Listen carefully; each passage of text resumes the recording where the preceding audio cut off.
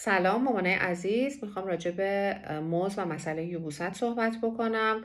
خیلی ها بر این باورن که موز باعث یوبوست میشه در صورتی که تحقیقات خیلی زیادی مبنی بر اینکه موز باعث یوبوست میشه وجود نداره. برعکس خیلی تحقیقات نشون میده که موز باعث حرکات منظم روده میشه.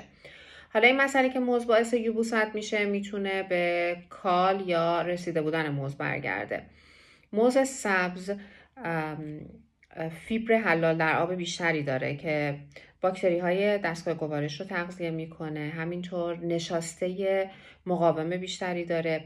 یه ماده داره به اسم تنینز که این ماده رطوبت دهان رو می‌گیره و می‌تونه باعث یوبوست بشه. باز با این حال لزوما موز سبز باعث یوبوست نمیشه. حالا کسایی که نگران این مسئله هستن می‌تونن از موز رسیده استفاده بکنن به خاطر اینکه قند بیشتری داره قند طبیعی بیشتری.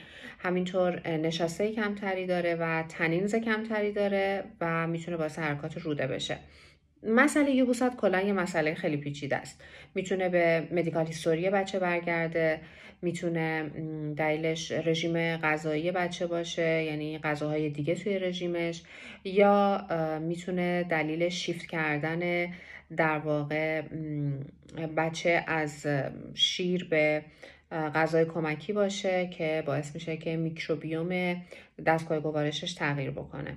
کلا اگر که نگران این مسئله هستید یا بچهتون یوبوست داره حتما حتما با پزشک متخصصش این مسئله رو در میون بذارید. مرسی.